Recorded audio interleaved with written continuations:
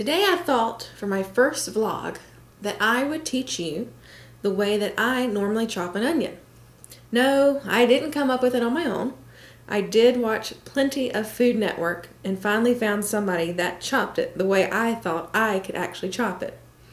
Sunny Anderson with Cooking for Real is one of my favorite shows, and as you see, I use a lot of her recipes on the Onyx plate.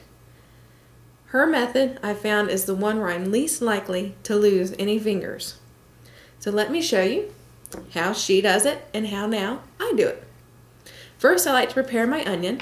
I remove the entire outer skin. I'm just weird like that. I'm afraid there's germs on it from the grocery store. Remove the entire outer skin.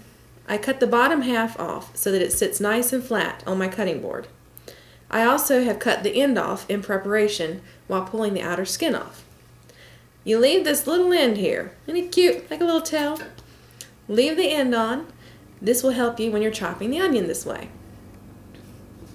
First off, I take my knife, my lovely knife, which I love. And by the way, husband, I wouldn't mind some Wusthof knives for Christmas. Anyway, wishful thinking. I take and cut my onion going through, trying gently not to cut myself twice. Once towards the bottom, once towards the top. Just using it, getting it through there. Then I'm going to take on the top and going almost to the very end here, but still leaving the crown of this intact. I'm going to poke my knife straight through and chop down. A few little pieces may come out, but that's okay. Just the way the onion is circling. Yes, I just said the onion is circling. We're going to continually cut through here.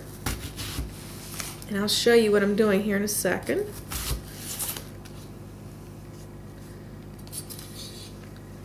Right here, I made little cuts here. See how they're being held together by the top?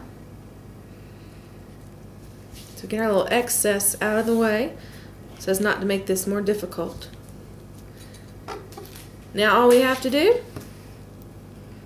Take our knives and chop down. And we have chopped onion.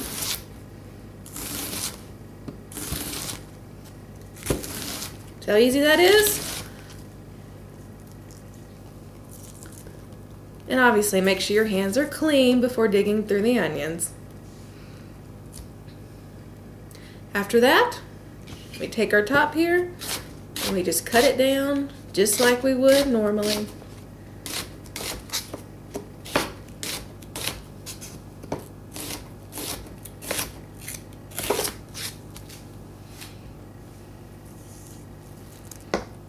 If you have any questions, you are welcome to post them below this video.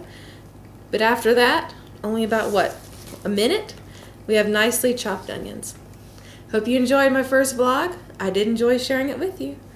Now, Go caramelize these bad boys in some nice, yummy extra virgin olive oil. Have a great day.